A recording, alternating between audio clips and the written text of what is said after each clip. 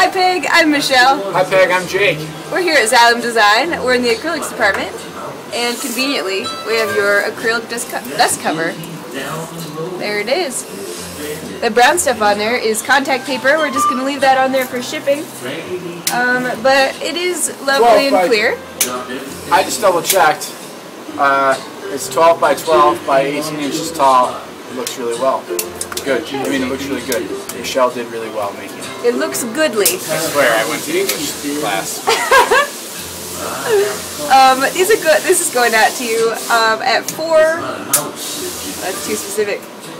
Four Dellwood Plaza or Dellwood Place. Place. It just says Dellwood PL. Whatever Dellwood. your address is on that road, plaza, place Yep. is It's where going it's going. there. In New York. Going tomorrow. Uh, we're going via FedEx. Yep. And uh, when you get it, we want to see whatever object you're trying to keep dust-free with this dust cover. Um, and Anando, did you talk about the cleaning kit yet? Not yet. This is a cleaning kit. It's got instructions for how to care for your acrylic. The most important thing is this rag. It uh, is a microfiber rag. It's reusable, rewashable, washable. Um, but use this and any non-ammonia glass cleaner to clean your acrylic with fingerprints, and it'll keep it scratch-free and all that good stuff for a long time. Yes. Acrylic lasts a long time.